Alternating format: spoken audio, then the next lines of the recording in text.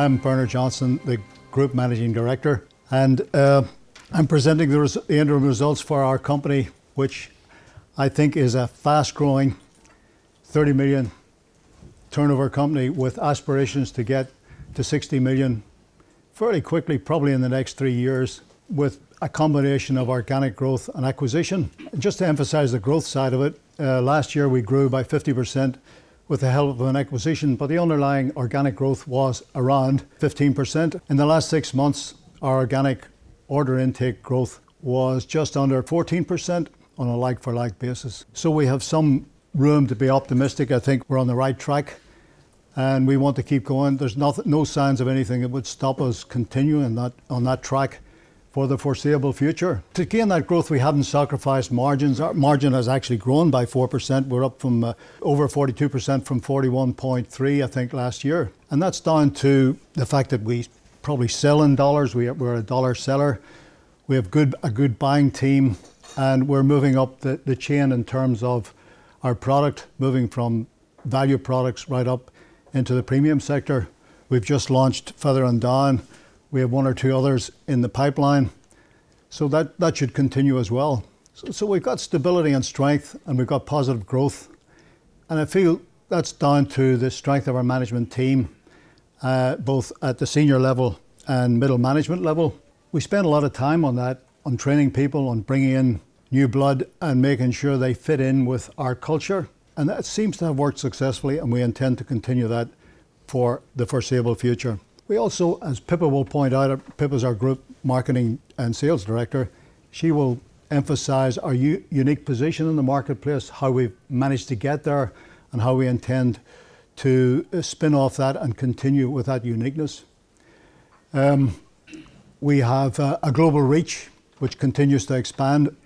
our export is doing very well. Outside of the European Union, that is, which is probably a good thing right at this minute in time. But we intend to focus on Germany in the next year or two and, and build up our, our presence there. Our challenge will be to maintain our manufacturing capacity in line with our sales growth. To be honest, our sales have outstripped even our expectations, and uh, we've now got to work very hard at uh, improving our manufacturing capacity to keep pace with that. Uh, and we intend to do that over the next 18 months by buying equipment and installing it and um, using it to um, double our capacity in the same uh, premises so that our, our, our, site, which is about 110,000 square feet, will be able to cope with a 60 million turnover um, and still have spare capacity.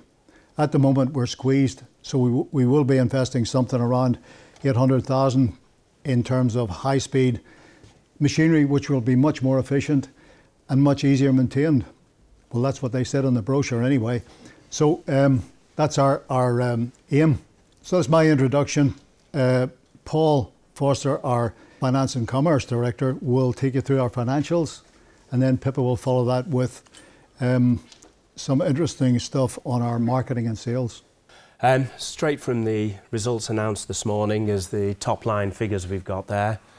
Um, revenue growth of 7% in the period um, coming through. A lot of that, I'll talk a little bit later, has been in the last three months of the year. We've got an operating margin that's up 0.7% up to 5.8%, um, which is significant growth. Um, again, I'll talk a little bit to that later. The profit before tax up 21%. That's giving us a profit after uh, before tax of 956,000. Earnings per share 0.9%. So all positive figures. Taxes are partly driven that down from the before tax profit figure. And then a return on capital employed of 10.7% on the six month figures compared to 9.5% last year. Um, and we've slightly modified that calculation from previous years to tie in with the figures, the, the calculation adopted by the stock exchange. So it's consistent with that going forward.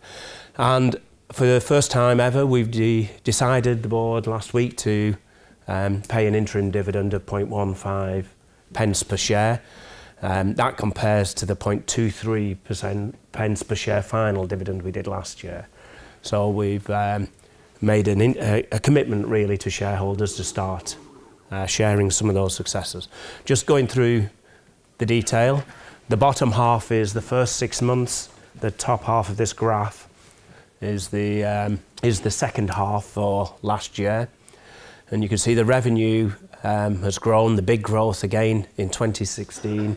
Uh, 2016-17, as Bernard mentioned, relating to the uh, growth on the assets we acquired in February 2016. But again, the revenue's grown by 7%. I think we'll go on a little bit more, but within our own brands, some of the brands you see around here today, that growth has outstripped um, the underlying growth of 12%. And, and that growth has been significantly biased towards the last three months of the year. Um, and that impacts on some of the working capital uh, commitments we've had to make in the business um, that will, you will have seen from the figures. Again, operating profits, this is before tax and interest. Um, we're looking at a 21% increase in operating profits, so the 7% growth in sales has been leveraged through to a 21% growth in profits. Our gross margin, Bernard mentioned, 42.1% is up 1.1% on last year. Um, a combination of reasons, sales mix, higher, higher priced products into more away from the discount end of the market. Export sales have grown in the period. Again, we get a higher margin from that and a little bit of customer mix, as well as a significant benefit from, we're starting to reap the benefit from the um, consolidated purchasing we've been able to do following the acquisition. So we've, um, particularly on raw materials, we had a program to amalgamate sources of supply, um, and, and generate income from the economies of scale that's given us, and that's starting to flow through in the period. So there's a whole number of factors that helped us drive that margin forward. Um, costs have gone up, particularly administration costs, but they're in line with the anticipated growth we've got in the business. Distribution costs as a ratio are, have fallen. Again, as a, little bit as you expect the economic economies of scale throwing through the business. So all in all, you know, a significant, you know, 21% growth in profit from the um, from the 7% growth in sales. Rather than two profit figures, just look at the margins. Um, 5.8% increase in operating margin, 5.1% uh, last year. So that 0.7% we're seeing the 1.1% on the gross margin starting to flow through into the bottom line. Corporation impact is we're paying a full year tax charge this year and we have a prior year adjustment that's in the tax charge that we've taken the full hit in the first six months of the year that's impacted on the tax charge in these accounts. The uh, rate of tax that you see in these figures will actually be decreased once we come through to the full year marginally as that the impact of that prior year adjustment is um, spread across the figures. So we will see that um, tax rate being a more normal level as we go forward. Um, and we've still got a little bit of the benefit of those synergies coming through in the overheads and administrations that we had in the first half of, of last year. Return on capital employed, as I mentioned, we've sort of uh, adopted the stock exchange model to give a consistent measure.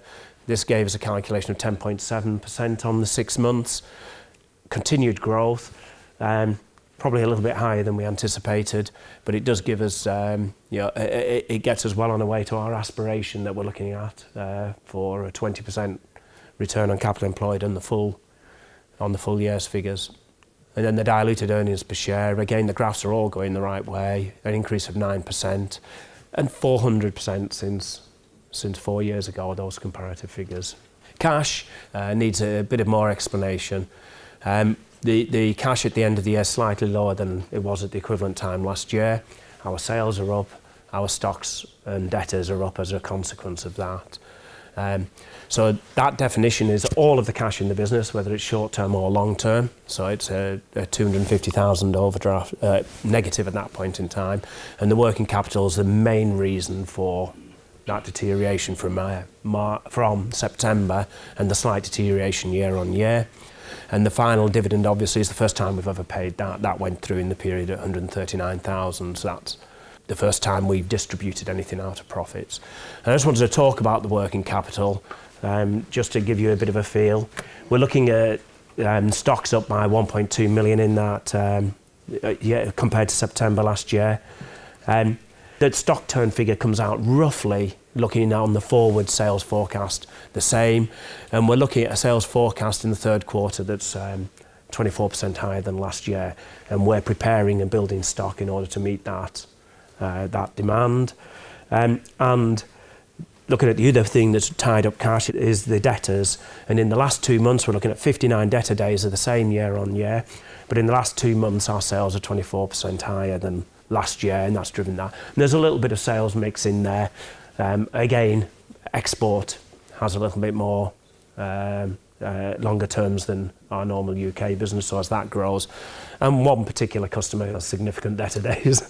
um, but um, the, the, the, so, so what I'm trying to get across here is that um, the, the working capital increase has good, supportable reasons. And the reasons are the higher sales in the last two months of the year, and the cash will flow through in the next few months, and the investment in stock to support the forecast in the next three months.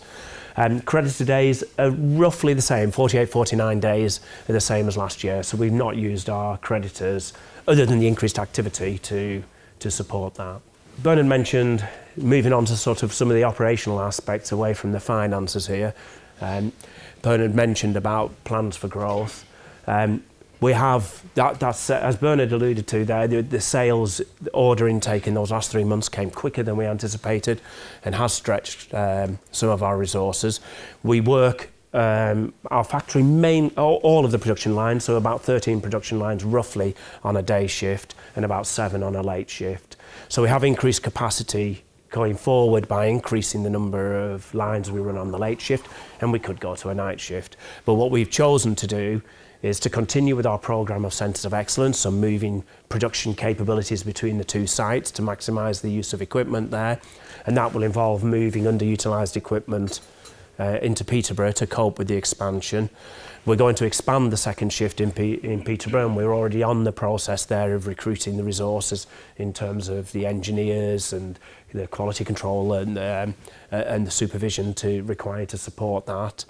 Um, and we're also focusing much more on equipment utilisation. So, so that we are managing capacity rather than efficiency, if you like, a slightly different emphasis in terms of utilising the equipment in the factory. Um, so there's a fair bit going in onto the operational organisational side of the business.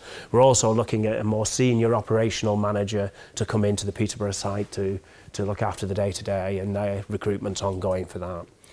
On the capital side, we're looking at over two years, looking at two high-speed bottle filling lines that will double the output of the two main lines in Peterborough. We've got three bottle filling lines there that they'll be increased.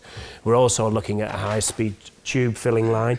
That will probably increase about 25% the machine outputs, but running it on double shifts will give us an, an increased capacity. So it's may, both of those will be aimed at maintaining our flexibility because we have to be all things to all people in terms of um, what we can offer.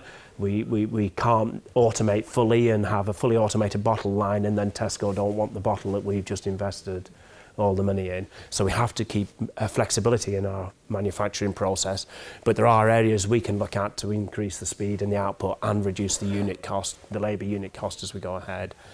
Um, and we're also utilising some equipment from Devon and modifying it, going to increase and automate the, um, the jar filling operation in Peterborough.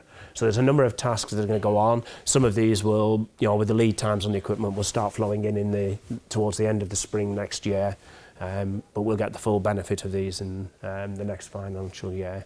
And it'll give us that platform to double the output from the sort of, sort of, you know, annualized 37, 38 million we're dealing with at the moment to in the last couple of months um, to the um, 60 million aspirational figure. Just wanted to put those all of that in the context of we talked about last last time our aspirations. These are not changed. Um, double the turnover. Well, we're on. You know that was always um, a mixture of organic and acquisition. Um, the organic growth is coming through. Um, we're still hunting for an acquisition, so all, all, all um, ideas are welcome.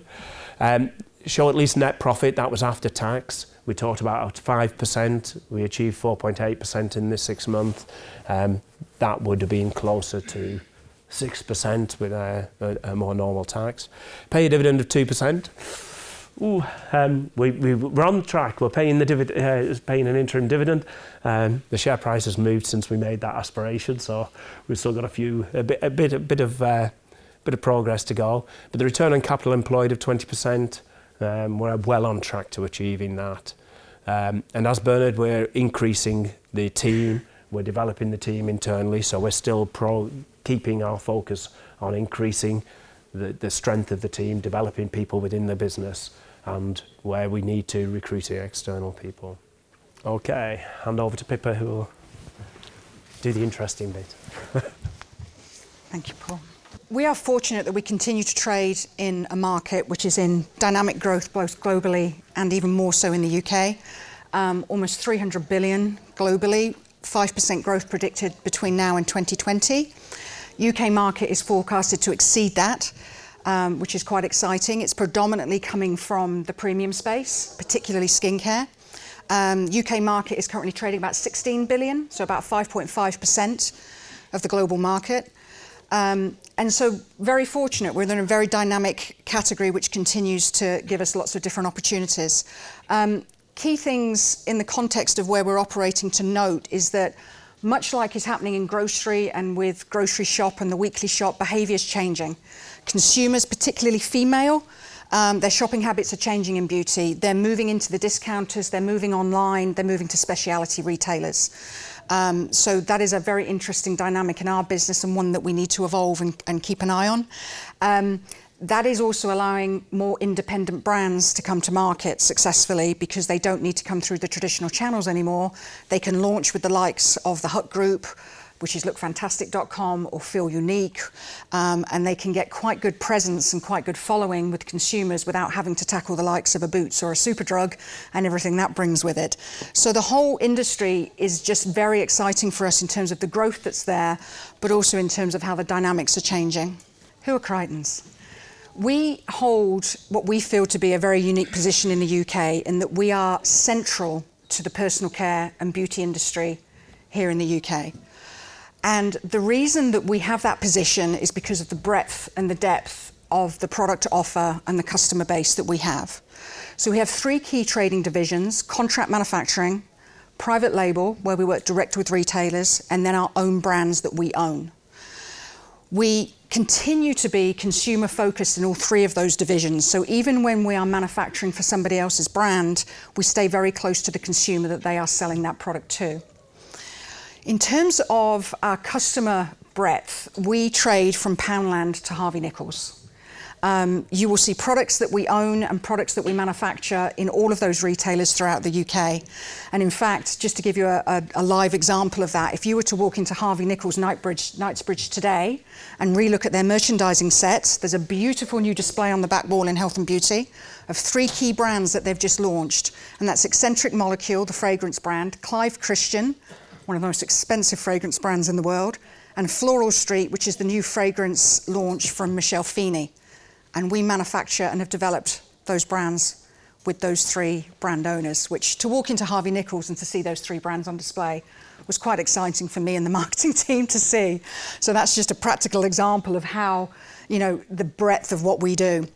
And then to add to that, in terms of our central position, we manufacture a broad range of health, personal care and beauty products from talc in the baby market through to premium skincare. And that gives us a lot of opportunity in terms of understanding the market, having category expertise, and providing our customers with different options on products that they might like to provide to their end consumer. The benefits that this structure of breadth and depth in our business brings us is what we feel is the USP and the unique positioning of our business here in the UK market. Because we manufacture for brands, we look after our own brands that we own, and we work very closely with all the big multiple retailers in the UK. The insight and intelligence that we have into the personal care and beauty market in the UK, I would say is relatively unique not only can I see the plans and the goals and the objectives of what's happening with the major retailers in the health and beauty category, I can also see what's happening with the brands that we're manufacturing for in terms of the products that are selling for them, new innovations that they're bringing to market, and what's happening with their, if you like, their futures and their successes. Um, in addition to obviously the work that we do with our own brands in terms of buying research and formulating what we think is going to be, you know, a great seller and meet consumer needs. It also gives us an advantage with regard to innovation and agility. So again, that insight into the total market allows us to keep ahead of the market in terms of trend, use multiple resources in terms of understanding what's going on, and then to adapt ourselves with the three different areas that we have and the multiple categories and the multiple customer base that we have to take advantage of different things. So an example would be clay. That's a brand new launch that we've done literally in the past two months. We've already sold 30,000 units in about six weeks sales just through one retailer. And that was an example where L'Oreal have already bought clay to the market at the mass level but there was definitely an opportunity in the value position to take advantage because they priced the product quite high for mass. So there was definitely a price opportunity if we were to deliver a good performance product in the value position and take advantage of that. Um, and we got that to market in four months. So it was a very quick reaction to a trend that was happening, and the sales are coming through too. So that's a, a good example of where innovation and agility and insight allows us to move. And then also it gives us flexibility and scale. So again, examples of that would be, you know, we are manufacturing volumes, volume manufacturing in products for someone like Asda Baby. We manage their Little Angels private label brand. It's the second largest baby brand after J&J in the UK in volume terms. And then we'll be making for someone like Clive Christian, that is a high-end fragrance retailing for £1,500, and we're making anything from three to 400 units to satisfy what they need. So again, having those three divisions, having the breadth of customers that we have, and the different categories allows us to have what we feel is this central position in the UK market and also one that is quite unique. So for those of you that had the presentation before, you would have seen this slide before. We don't define ourselves as a manufacturer. We have a mindset that we're a solution provider to the market. And this has enabled us to take the insights that we get, take all of the innovation and trends that we get and to apply it to what our customers need. So how we approach business coming on or business that we're going after is we will look at the retailer and the gap that they may have in the market, or we'll look at the brand that we're working for, and we always sit down and, and, and work out what value can we add to them in terms of driving their business forward, and ultimately what does their consumer want. And in order to do that, we have this mindset that we're a solution provider. Again, it's about the breadth and depth of the teams that we have, not just in terms of marketing and sales, but also in terms of the buying powers that we have, in terms of our NPD teams, um, in terms of research and development to allow us to look at those propositions that customers bring us or that we may be proactively going after them so that we're always working on a basis of where can we add value. And that also enables us to develop more longer term relationships with our customers as well. So by having that mindset of being a solution provider, it's allowed the journey that we've been through over the past, well, it's over 10 years now, um, to diversify and, if you like, to a certain degree, de-risk our business by moving quite significantly the brands that we have, the number of brands that we have, the number of customers that we have, from one dominant customer to multiple customers, to different channels, from discount to mass to premium, um, and from expanding into export markets as well. So again, the whole team back at base in Peterborough and Devon have this, um, the way that we approach business as a solution provider has allowed us to, to go on this journey. In terms of where we're at currently, in terms of business mix by division type, contract manufacturing, we had a, a big bounce in contract manufacturing last year when we acquired the assets of Broad Oak Toiletries. We were able to go and get all of those customers um, that were being supplied by Broad Oak Toiletries and they were contract in their definition. Um, so the contract manufacturing division um, has currently grown in terms of its total percentage of our business over private label and owned brands. But in line with Bernard and Paul saying that the past two to three months have shifted, it has shifted insofar as that private label has accelerated considerably over the past three months. And actually, if I was to do those numbers as of the moving forward for the next three months, the balance would change insofar as that contract manufacturing comes down to about 38% and private label bounces up. So actually it's heading towards something that we're more comfortable with, which is actually having a third, a third, a third in terms of balancing our business with the different divisions. In terms of customer type, um, so that's extended in terms of who we're dealing with. Prestige brands being something that's entered for us over the past two to three years, now represents 30% of our customer types um, with export at 10%. In terms of categories, and again, alluding to this unique position we have in the UK, this isn't all the categories that we deal in because there is an other there. And in that other, there's probably about six different categories, which includes things like foot care, self tan, and a number of others. But in terms of the main contributing categories, skincare is a third of what we do, hair care, bath and body being also the big ones, fine fragrance being a new one that's come over the past 18 months to two years, um, and baby still playing quite a key role in terms of what we do. So, to layer on top of the mindset that we're a solution provider and this unique position we have in the UK, one of the results for us is the awards that we win, both from consumers and both from retailers. Quality service and innovation is a key mantra within our business, and for us, awards are a part of, if you like, the results and a demonstration that we are focusing on quality service and innovation. So, in addition to product award, there you will see that we have quality service and innovation awards with some key retailers in the market, which is absolutely essential to keeping those retailers happy and keeping those relationships moving forward. Um, the key one for us this year in 2017 is we were voted by Superdrug as Supplier of the Year. So that was a big one because you've got P&G and L'Oreal and Unilever and all the titans of this industry in the, in the room, along with some smaller manufacturers like us. And that really was on the basis of the growth that we've had with them, the innovation that we've taken them, and that we do have an excellent 99% service record with them in terms of our order delivery. So again, just focusing on the quality service and innovation piece, which is very important, is the consumer feedback that we get. It's a constant cycle for us of ensuring that feedback from consumers on our brands or brands that we manufacture for are coming to us so that we can act upon it. Um, and I put this one up just because they're just some of the most fantastic feedback we've had in the past three or four months with regard to Feather and Down, people describing it as sleep in a bottle, which I couldn't have made that up if I'd tried. I mean, I thought that was just a great definition of what's going on there. So, um, consumer feedback, very important to our process of continuing to innovate. And then innovation being the third pillar. Um, these are examples of where we have been first to market with different types of ranges in different categories. That's very important to keeping us ahead of the market. Um, without a doubt, brands that we manufacture for recognize this in us and often come to us to help them work up very innovative products to help their brands move forward.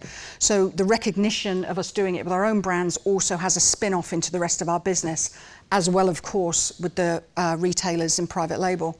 I mean, a good example of that is our business with Aldi over the past six months has grown exponentially. When Paul highlighted that our sales growth has come quicker than we thought, Aldi has been key to that the onshoring that they're doing from, particularly from the German manufacturing market into the UK, is significant. We knew that was coming. It's just come at a pace that I didn't quite anticipate. Um, they are moving very quickly, as they do. Um, and one of the ways that we got Aldi's attention was that we took some very innovative products to them. Um, so you may have seen, because they do these big special buys, there was a hot cloth cleanser recently that we did that was very successful, and we also did a Glam Glow mask type for them as well. Um, and that's how we managed to get um, an audience with Aldi to start with was about the innovation in terms of the products that we do, which is now moving into consistent supply of some of their core ranges. So it has worked, which has been quite exciting. So innovation for us very important in terms of keeping the whole momentum moving in terms of ensuring that our brands are ahead of the market and delivering the consumer something that they want to buy, but also the spin-off that we get into the other categories that we supply. So to conclude, the journey continues. Um, continuous momentum and growth, that is definitely something that we have experienced in the business over the past year, and that is continuing. Paul has given you an insight into how the third quarter is looking in terms of what the sales book is looking like. Um, that has also meant that we've got a much more improved profile in the marketplace. Um, for those of you that have been to these presentations previously, you know that up until the past year or so, we've, we've kept our heads under the radar. Um, by, by kind of getting the momentum and growth and, and what's coming through the business is improving our profile in the marketplace, which is having a spin-off on the brands that are coming to us and the retailers that we're working with, um, which is very interesting in terms of, again, de-risking the business and moving into different categories. Increasing brand visibility and recognition.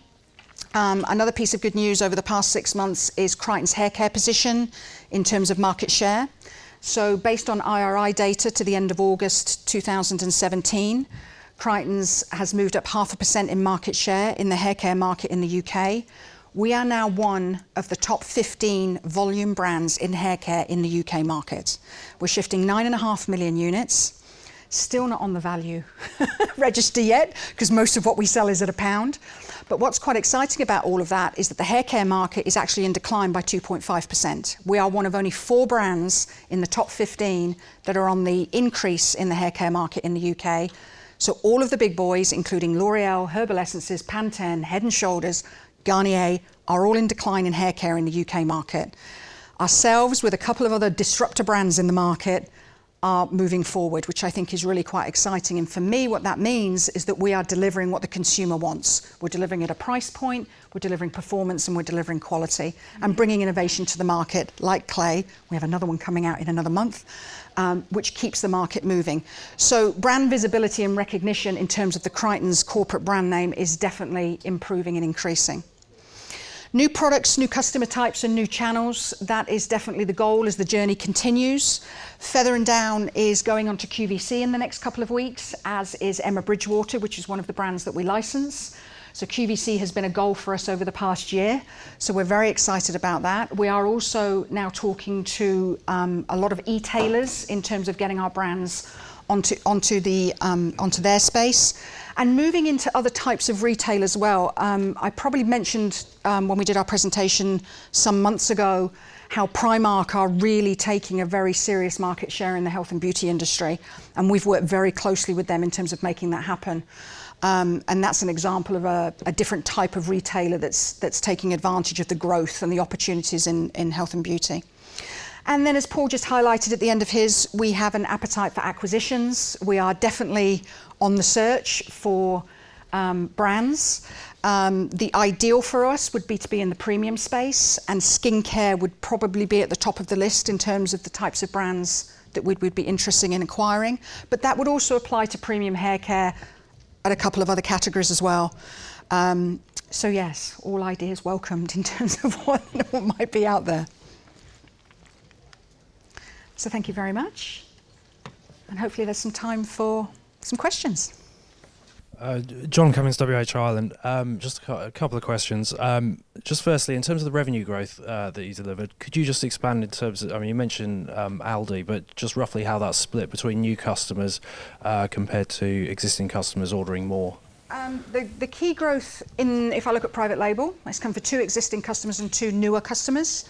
So it's about 50-50. So again, that's quite exciting. In terms of our branded customers, where we've seen a 12% growth in branded, that has come from existing and new. Yeah. Thanks. And and just uh, I think last year we saw uh, the operating margin in the second half was was lower than the first half. Is that a, is there a structural reason for that? I mean, is that something that we should expect going forward to see that? Um, some of the operating margin in this period comes from um, um, uh, big volumes that we do that's associated with um, uh, uh, Christmas for the customers. It's seasonal. Um, so um, I would expect a slight, I, I expect that to be partly structural, yes. Yeah, if, if I remember correctly, I think last year you saw of your sales growth, it was driven by um, your own labels and um, and contract, but private label was declining. This time you seem to say yes. private label is growing. Is that deliberate or is that just natural volatility? It, it, part both. So the bounce that we got from contract manufacturing was through the asset buy that we did from Broad Oak Toiletries. They were all contract customers. We went out and grabbed all of the customers that we could get back for that business didn't know whether or not they would be good business or great margin business, some nice names for sure, and definitely premium positioned. So when we absorbed that into our business and started working with those customers, some of those have not delivered what we would want them to deliver. And obviously working with those customers, it hasn't necessarily delivered the margins we would want. So there's been a small process of kind of rationalization, if you like, shifting to ensure that we're keeping the contract business that is good contract business and not that that, that is not going to deliver the margin. Um, saying that, there's three brand new contract customers that we've brought to the party over the past 12 months that are as a result of us having those assets that we bought and also being a player now in that premium space. So that's quite exciting for the future. Private label, we knew that there would be a turnaround at some point. I've been doing this for about 25 years and I've seen, I've been in private label from the day that it started in the UK and it's very cyclic with the retailers depending on their objectives. Sometimes they have more brands, sometimes they have more private label. There is a private label for sure at the moment kind of wind behind most of these retailers. Um, they've, they're, they're fed up with fighting on brand prices all the time and realise that they can deliver some exclusivity and deliver some differentiation by going back into private label. And that's where we are very well positioned to do that for them. And then there's the Aldi dimension where they're bring onshoring from Europe in terms of manufacturing, which is, you know, as a direct result of Brexit. So some of it definitely planned in terms of margin mix and margin management, if you like, in terms of having the right kind of customers. And then some of it through the objectives, if you like, of some of these major retailers in terms of their private label agendas. Retailers have learned to relaunch and, and change their product, um, change their fragrances every three or four months, yeah. more intense. We're better, uh, better positioned to do that for them, so we find we're getting more business on that basis in private label. Just, just following on from that one, if you look at a, say a three-year view, where would you see the split of business between those contract, private, and own? And then, what can you sort of give us an uh, guidance on? Well, we wrote it down on a piece of paper, so give you the. what, what's the sort of? Did I tell you how dynamic the beauty industry is and how much it's changing all the time? Um, and, and sorry, just, just the margin architecture in each. Yeah, I mean, I, I think in terms of the split on the revenue streams, we would like to keep it balanced. I mean, I think, and a, private label is a good is a good example. To a certain extent, you're running with the, the big retailers' agenda. So to a certain extent, it goes in waves. So could I predict what their agenda will be in, in three years' time? I don't think I could. I think pri- you know private label will always be there, but in what state, I don't know. Um, I mean, obviously, our goal in terms of what we can control is to go after more brands and the right brands in terms of contract manufacturing. So I don't see any reason why that wouldn't continue to play a very important role. And then obviously, there's our brands, and they continue to grow. So I'm not really answering the question well, specifically. well, I, I, think it should be, you know, it, ideally it would be 20, 20, 20 if we were at 60 million in three years' time. But the, the yeah. point is, we're competitive. It's out there to be taken, and we love to compete we do love to compete, and we compete in house as well. So the private label team want to beat the contract team, and it's there for the take. And we, we, we are continually improving our, our offering. You've had some very good success with the Creightons brand itself. Could you give us a little bit of an idea as to the diversity of the retail space that you're actually getting into, i.e., you know, are you bridging architecture out into from premium all the way down to value, or is it is the emphasis all moving up? Uh, it's a combination. It definitely is moving up, um, but we are also taking advantage of growth in the value sector as well. Both of these are two new brands, or that's an extension to the hair care, and we've just launched the men's that have gone into the value space and doing very well. Um, Feather and Down is a Creighton's brand, and obviously price position goes into boots, so it's in a different space in terms of that, and then onto QVC. And then we've got Creighton's Professional as a branding, where we have the Curl Company, for example, which is a more premium hair care brand. Um, and more coming out in Creighton's Professional over the next six months, so that'll be quite interesting. So, absolutely, still taking very much advantage of the value space with Creighton's, and will continue to do that. That is good, fast volume business, um, and it improves the profile of the brand all the time. But just because of the sheer volumes that we can sell in that space, it brings lots of cost advantages to our business. I mean, nine million tubes a year. The spin off that we get in private label tubes that we buy or contract tubes that we buy because of our purchasing power and raw materials but very much moving the Creighton's brand into the mass space and the premium space. So you'll now find all of our Creighton's hair care in Tesco, in Asda, in Wilkinson's, in the mass retailers, not just the value retailers. Um, and then with the export, with different markets in export, Creighton's is, is taking different positionings depending on the local market. So Germany is very much like the UK market, it's very value and discount driven. So the retails on our products probably aren't going to be that much different. Um, whereas somewhere like Australia, um, business that we're doing in South America, you know, what we sell for a pound in terms of retail here in the UK is the equivalent of 3.99 and 4.99 in those markets. So it's it's it's very it's a very dynamic industry beauty in terms of price position. But yeah, definitely definitely moving up. Okay, just, just a very quick thing on that is the premium stuff we invest we develop ourselves. That's our own creation. On the more tighter margin uh, Creightons, it's driven by the discounters and the value uh, uh, retailers who want the product and are following a trend. Yeah. Okay, thanks. And then just a question, actually leading into this, what you're saying about volume.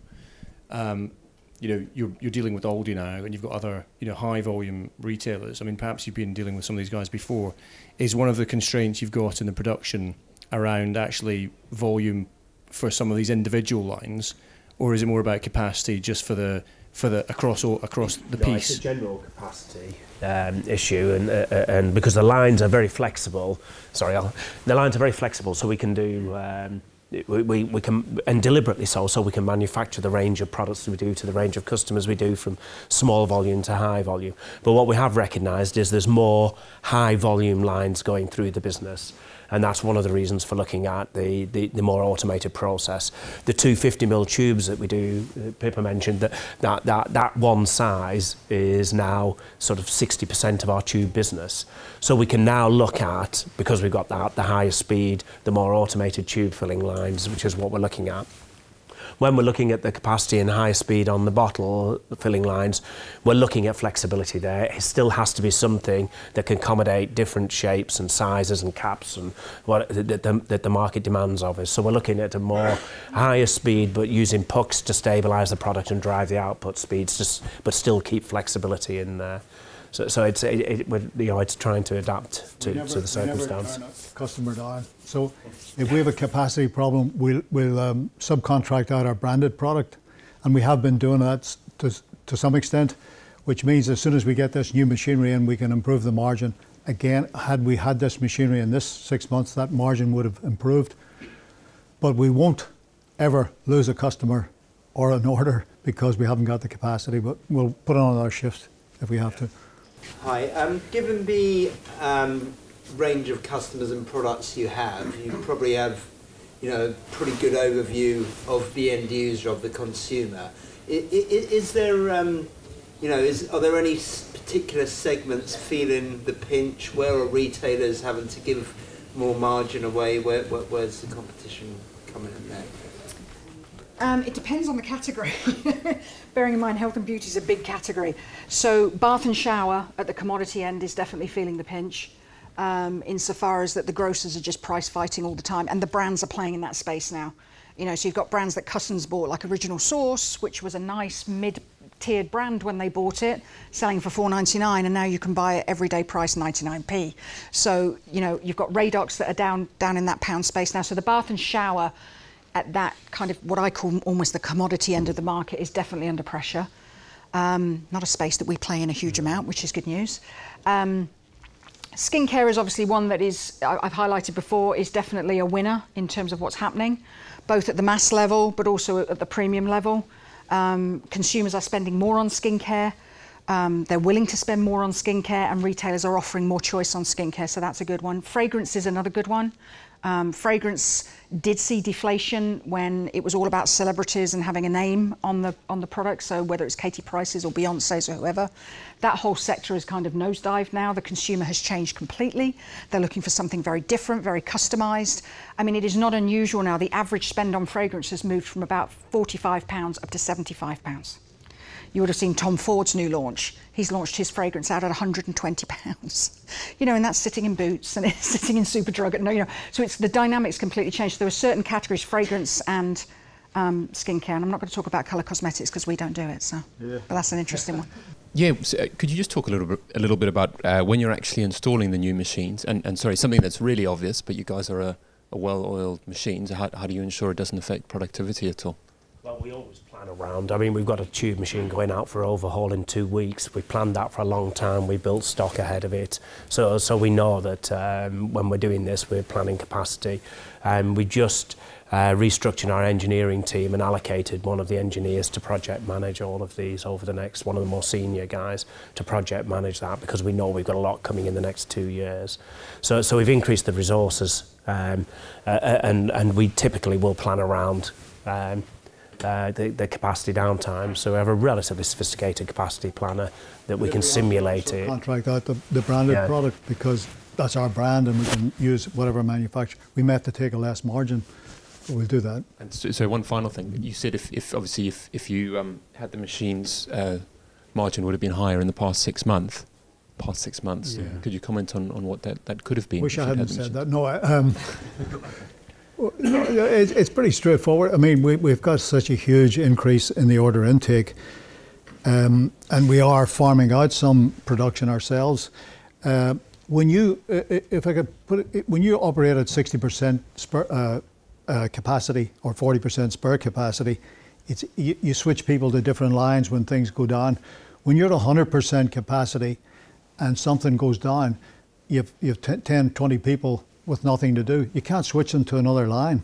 So um, that's that's the difference. When we when we bring in this new machinery, we'll have we'll be back to 30% spare capacity, and as we get towards 60 million, we'll probably invest in more machines. But um, that, that that's the reason, and uh, I think that's that's where we're confident we can improve the margin when we bring this machinery in. It will take. There is a disruptive factor in there, and we may have to go outside and do more manufacturing outside for a short period of time, but it will be worth it. Yeah, there Bruce? are anticipated to be some labour cost reductions in these, but it's not the main driver. The main driver is to boost the capacity. Two questions. Um, you've talked a bit about overseas in terms of Germany, um, but not in other terms of other geographic regions, and also um, separate area. When you lose out on bids um, to manufacture or produce product for people, who do you lose out to and why? But Can we take a second question? But we hardly ever lose out. That's an easy one. Often when we lose out, I didn't want it anyway, if I'm honest. Yeah.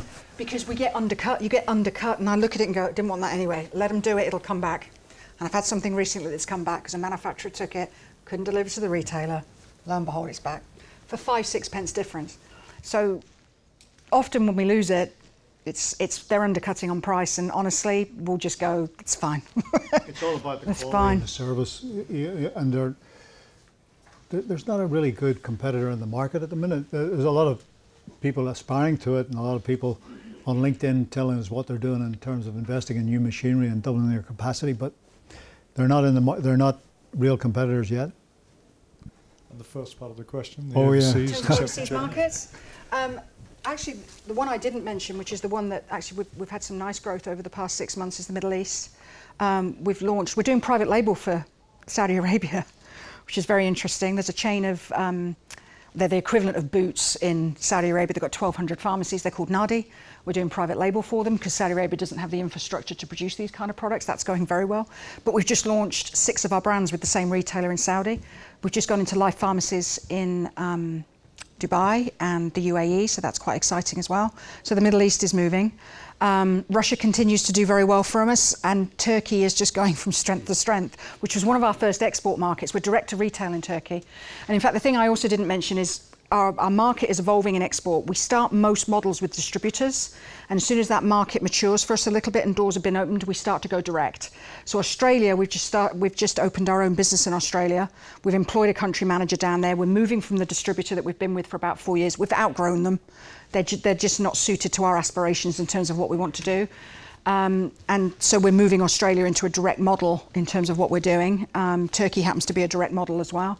Um, so that's our goal with most export markets. Distributors are good at opening those markets, but we often find they're not the best at managing your brands always and getting hands on and getting close to the retailer and close to the consumer um, is where we want to be. So, yeah, Middle East and Aus- Australia will be interesting over the next 12 months. I think the, dy- the dynamic's changing there, which is good. Um, six months ago, I asked you uh, about Brexit. Can I ask you about Brexit again? And uh, your updated thoughts? Uh, yeah. Um, I, I- mentioned uh, that we weren't really dependent on the EU in terms of sales because we, we, we sell very little. Germany is a target market it's a great market. It, we should be, we should in the longer term be very successful in Germany. So um, where it's going to impact us is in the buying side. Um, I think we can cope with it. I can't see any really major issues. What, what kind of thing were you I think thinking? last time you, you talked about employment as well. Employees. Oh, employees, yeah. We do employ quite a number of Europeans. Um, I think that's settled down a bit. Um, we don't see any shortage in the market of what, what we are short of is, is really home qualified or good engineers that will work a shift system. We can find any number of people that work uh, uh, all hours of the day and night, you know, from Eastern Europe or uh, other places in the world. The real, the real issue for us now, and it's getting off the track from uh, your question, but the real issue for us is getting high quality engineers, and, and we've just recruited our first uh, Macedonian engineer who, who seems to be uh, very well able to do this job. But um, that, that's our real issue. I can't see that Brexit will, will depends how it works out, of course. Uh, if it stopped all immigration and you had to send all the Polish people home, we, we would be decimated. You know. there's obviously been a bit of a... Uh, we still import quite a bit from Europe. We still have a euro exposure on the buying side. Um, the majority of our tubes come in from Europe. Um, the 27-mile traffic jam the other side of the Channel Tunnel would be an operational issue that we'd have to manage and deal with. But but those are things, you know, it just becomes part of managing the business. It, it's, it's a change in circumstances we have to manage. You mentioned that Aldi were onshoring Mm. Yes, their yes. production. Is that something that you're going to do as well? Are you looking to to Go the other way? no? No, are bring, bring buy purchasing? What we've done, I mean, um, tubes is a good example. We get our best price and best quality tubes from Eastern Europe. Would want to continue doing that. There's nobody in the UK doing what they do. But what we have done with tubes, if we've got, we, if you like, we've got a, a, a plan B, which is I can buy laminate tubes that have that lovely finish. They're not quite as nice as what we're buying for, but there's a plan B should I need to go and get. So we're trying to, where we can, put second sources of supply that are UK based. They might be slightly more expensive. They not, might not be quite what we want, but it in, ensures continuity of supply. And obviously, for something like our brands, we can make those decisions and decide what we want to do. So th- there is a certain amount of that going on as well. Brexit's such a variable. I mean, it's impossible to, to, to really nail it. But we're fairly flexible and resourceful. Yeah, just one last question. I mean, uh, this industry is a very highly profitable industry. It's one of the best consumer industries to get into in the world. Yet your margins are only six, seven percent. Aren't they? Aren't your aspirations a little bit low on that? I mean, you know, What- Unilever are making maybe twenty percent on their on on their uh, their their uh, hair care and, uh, and beauty area, and they're spending you know 10 15 20% of revenue on marketing so the margins are very very high.